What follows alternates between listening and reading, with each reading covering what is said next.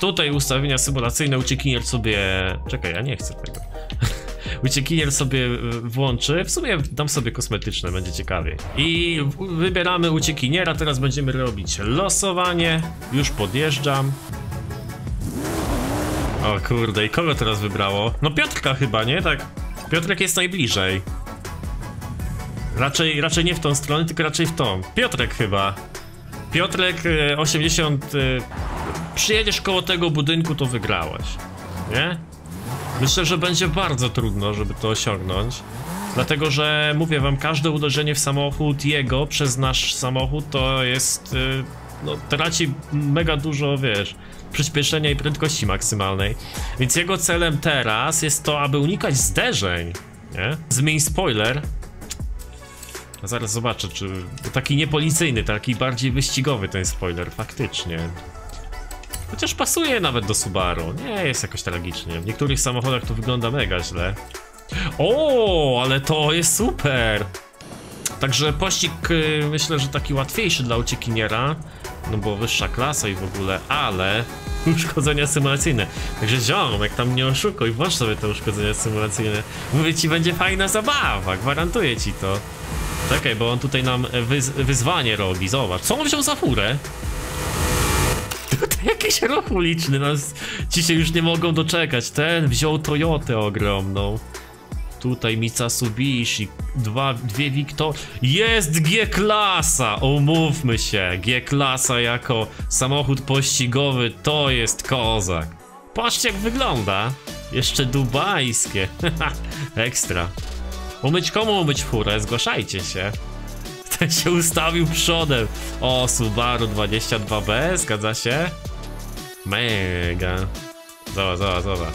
On się nie boi, on się ustawił przodem. To jest Baby Driver. Co to tu przyjechało? Ej, to też będzie robić pościg razem z nami? Patrzcie, to jest jeden z rzadszych pojazdów ruchu ulicznego. On się teraz tu pojawił z jakimiś cegłami na pace. Czekać. 5, 4, 3, 2, 1, go!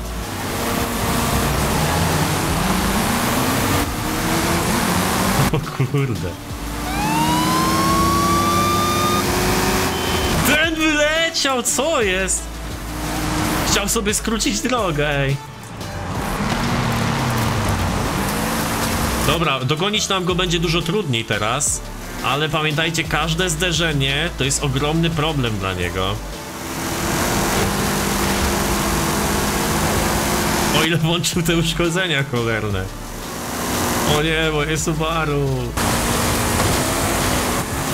Ja się tu czuję, czuję bardziej jako obserwator niż jako uczestnicz, uczestnik tego pościgu. Ja jestem człowiek kamera. Chciałbym gościa dogonić, ale powiem wam, że jest ciężko.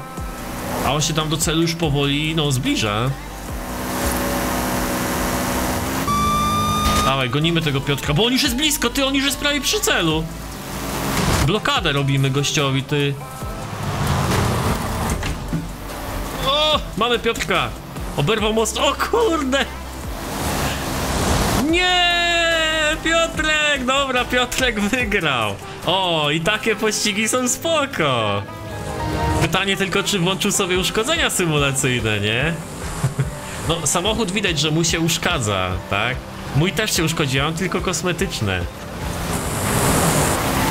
Ja pierniczę. Piotrek wygrał pościg. A właśnie, spoilera nie mam. Gdzie jest mój spoiler?